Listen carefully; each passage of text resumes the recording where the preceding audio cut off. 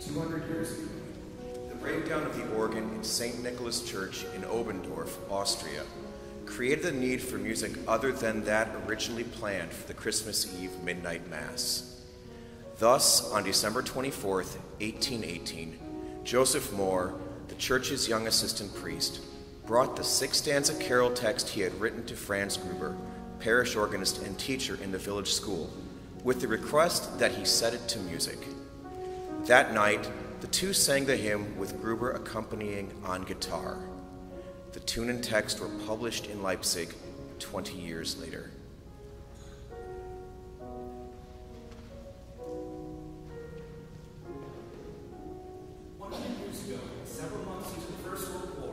on and around Christmas Day 1914, the sounds of rifles firing and shells exploding faded in a number of places along the Western Front. To the sounds of Christmas celebrations in the trenches and gestures of goodwill between enemies.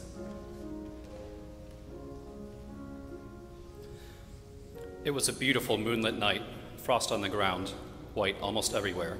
And about seven or eight in the evening, there was a lot of commotion in the German trenches, and there were these lights. I don't know what they were. And then they sang Silent Night, Stille Nacht. I shall never forget it. It was one of the highlights of my life. I thought, what a beautiful tune.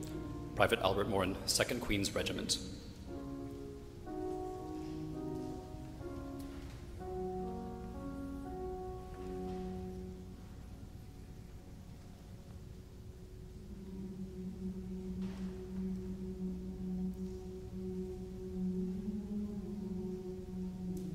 Then, suddenly, lights began to appear along the German parapet, which were evidently makeshift Christmas trees, adorned with lighted candles, which burned steadily in the still, frosty air. First, the Germans would sing one of their carols, and then we would sing one of ours. Until when we started up, O come all ye faithful, the Germans immediately joined in singing the same hymn with the Latin words, Adeste Fideles. And I thought, well, this really is a most extraordinary thing. Two nations, both singing the same carol in the middle of a war. Rifleman Graham Williams, 5th London Rifle Brigade.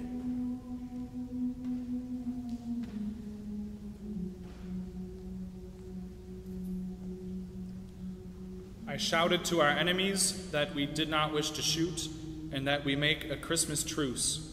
I said I would come from my side and we could speak with each other. First, there was silence. Then I shouted once more, invited them, and the British shouted no shooting. Then a man came out of the trenches, and I on my side did the same. And so we came together and we shook hands, a bit cautiously. Captain Joseph Seewald, Germany's 17th Bavarian Regiment.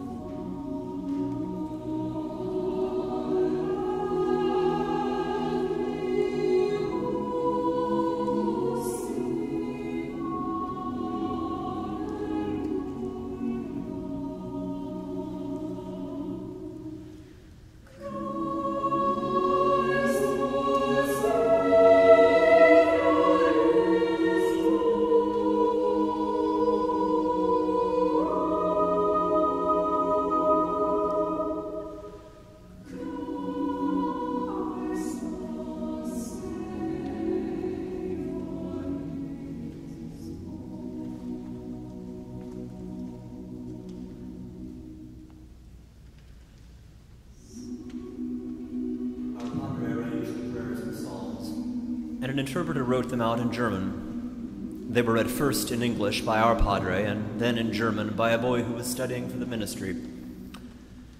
It was an extraordinary and most wonderful sight. The Germans formed up on one side, the English on the other, the officers standing in front, every head bared. Second Lieutenant Arthur Pelham Burn of the 6th Gordon Highlanders.